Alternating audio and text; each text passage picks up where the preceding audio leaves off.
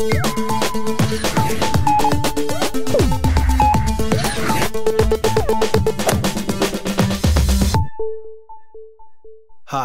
I'm Kenny Gioia. Welcome to another one of my tutorials. In this video, I'm going to show you how to create custom MIDI note names in Reaper. Now for the most part, this is going to apply to drum sounds, but really, it'll work with any MIDI instrument, but it tends to make more sense for drums, as you'll see. So the track in front of us here, let's add an instrument to this track. Hit the effects button, go to instruments, and then down over here, there's a plugin called EZdrummer, which is a virtual drum instrument. We could play our kick, snare, toms, and our cymbals. Now the reason I picked this instrument is it's one of the ones I have that doesn't import the MIDI note names. But we could do that ourselves. Let's record a part.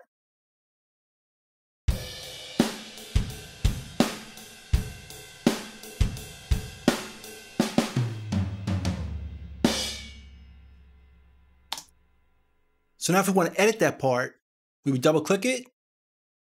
And by default, it opens up in our piano roll. Here's our kick, here's our snare, our crash, and our ride. Now looking at the keyboard over here isn't that helpful. It would be better if we saw what sounds were being triggered.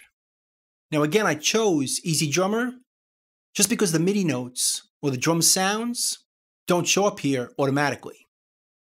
Now for drum sounds or similar, instead of using the piano roll, I'd recommend right clicking up here, go to view and change it to named notes instead of piano roll, which can be triggered on the PC by hitting Alt 2 or the Mac hitting Option 2. And if we choose that, these will change to named notes. But if you notice, they're blank. Let's make this bigger. So it's still not very helpful. What we could do is select all the notes by right-clicking, or just choose a note right here, which is our kick, and then go up here and right-click, go to the File menu, and go down here to Note Names. From here, we could rename the current note. So if we choose this, it shows up right here, allowing us to name it. So we'll name it kick, and it shows up here instead of the MIDI number, which is more useful. So we know our kick is right over here. And we can right click to choose them all at once. Number 38 is our snare. We could select it, go up here again, right click, go to the file menu, go to note names, and rename it. Name it snare, and we could do that to every sound in our preset. Now, there's a quicker way of doing this. We can go up here for our crash and double right click, and then we can rename it right here. We'll name it crash, and 51 is the ride. If we scroll over, we hit some toms over here. So we can name those as well. Tom 1, Tom 2, Tom 3, and Tom 4. And now all the notes we played have been named. But there are a few we haven't played yet, so we want to go through and name them all. But first, let's save this.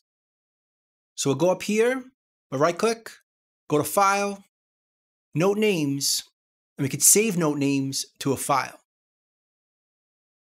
And it's going to save it to a folder in our Reaper folder called MIDI Note Names. We'll name it EZdrummer, and it creates a file that we can recall later. Now, if we go to our directory to find that file, it looks like this. It's a text file. So we can open up and edit this file in any text editor. And it looks like this.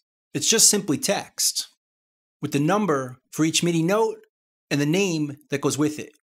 So 51 is ride, 49 is crash, and so on. So we could play our MIDI keyboard and figure out which MIDI note number goes with each sound. So if I play C sharp 3 on my keyboard, it's a side stick. And we can see it down here, lighting up. So I know it's 37. So you just go right here, type in 37, and side stick. And do the same thing with all the sounds in the preset. Like another cowbell is 56. So I could type that in, and I can go through and do each sound from this preset. I already went through and did this, so I'm just going to paste it in. But you should also know, if you search around on the internet, you could probably find the custom MIDI note names for the instrument that you're using. Just select it all and paste it, and here are all the sounds for the EZdrummer instrument. So I could save it and close it, and I can go back here in Reaper and just load it in. Right click, go to File, Note Names, load note names from File, and choose the file we just saved. All the note names show up right here, making it a lot easier to edit our drums. And another thing that'll make it easier is to right click up here, go to View, and go down here to Show Hide Note Rows, and choose this Hide Unused and Unnamed Note Rows. So if we choose this, all we're going to see are the notes that we named. So it makes it a lot easier and a little less cluttered to edit. We could still zoom in. When we zoom out, all we see are the note rows from the note names that we gave custom names to. So we can go through and edit this a lot easier knowing that this is the ride and the crash and our snare and our kick. Tom 1, if you want to switch it to Tom 3, just bring it down and follow the note name. Now, one of the problems with this is when we're done, we want to start a new project by creating a new track. And if we add EZdrummer, we record a part,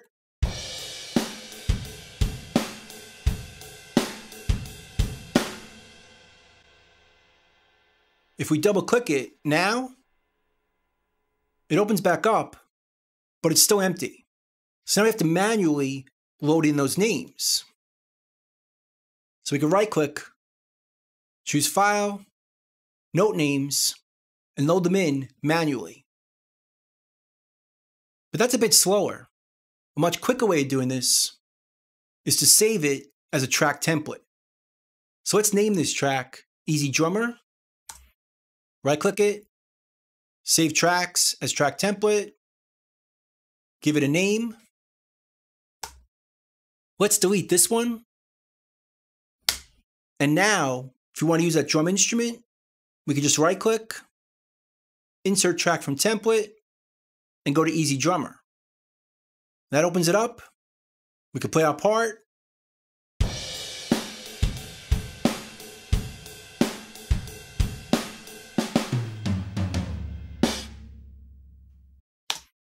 And now if we double click on MIDI item, it opens up exactly how we want it to, with all our names over here, making it much easier to edit it. If we want to change one of our sounds, maybe our snare, just right click it and move it to a side stick. And that changes that sound.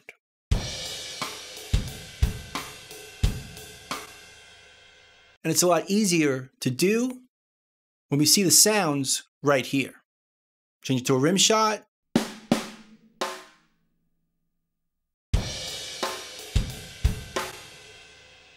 It's a lot easier with the custom MIDI note names being used. So that's pretty much it. That's custom MIDI note names in Reaper. I hope you learned something.